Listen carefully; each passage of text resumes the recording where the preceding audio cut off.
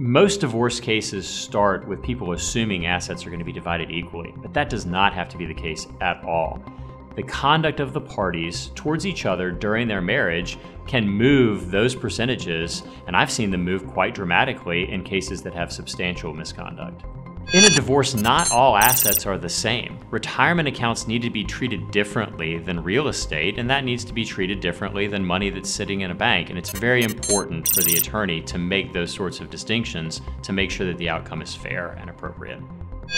Higher volume attorneys just don't have the time to spend thinking about cases and really understanding what's going on in those particular cases.